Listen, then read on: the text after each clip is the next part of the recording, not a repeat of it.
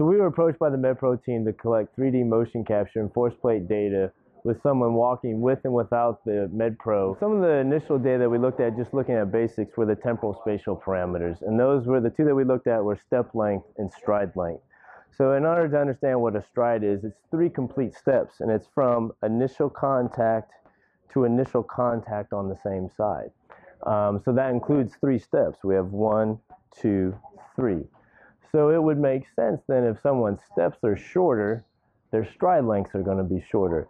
And when that happens, we start to see a chain reaction of events where we see a difference in the ankle angle, we then see a difference in the knee angle, and further up the chain as we go. Um, the difference we, we saw were um, the plantar flexor angle of the foot. So what we saw was normally when someone walks with a longer stride, they're going to have more of a pronounced heel strike.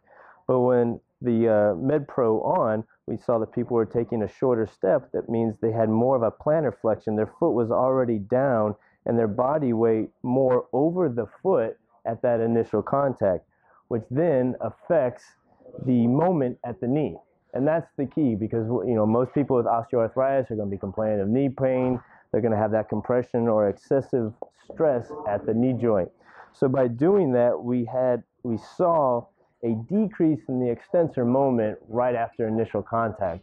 And that's the point that we looked at and said that this device is helping to unload or take some of that stress off the quadriceps um, tendon as it goes across the knee.